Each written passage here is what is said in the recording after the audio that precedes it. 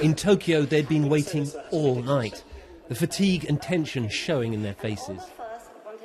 Finally, at 10 past 5, the moment of truth.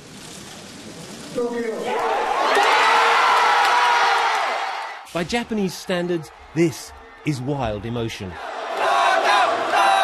Those who said Tokyo didn't really want the Olympics should meet these people.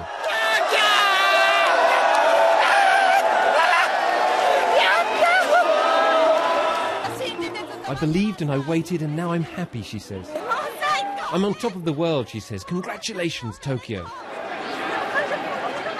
In the damp early morning, the streets of Tokyo are a little more subdued. But here too, people are happy at the news. Yes, I saw the news this morning, she says. I'm surprised, but I'm really happy.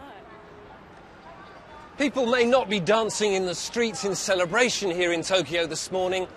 That's not the Japanese way.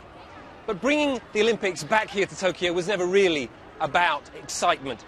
It's about safety. It's about knowing that come 2020 the stadiums will all be ready and nothing disastrous will happen. Or so everyone hopes. Japan now has seven years to get the Fukushima nuclear disaster completely under control. The world will now be watching what goes on here even more closely. Tokyo already has much of the infrastructure needed for an Olympics world class trains and roads, and clean air.